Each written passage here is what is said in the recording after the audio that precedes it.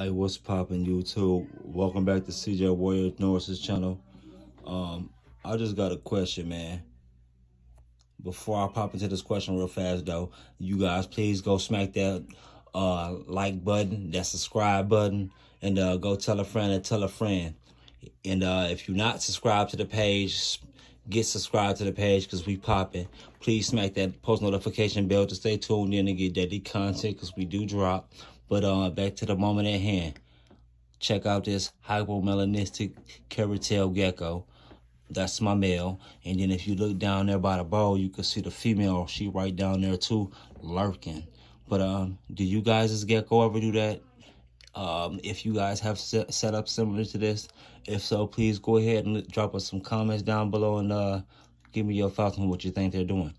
Once again, thanks you guys for watching CJ Warrior Norris's channel. And I am your host, Big C. Over and out and in a minute. Peace.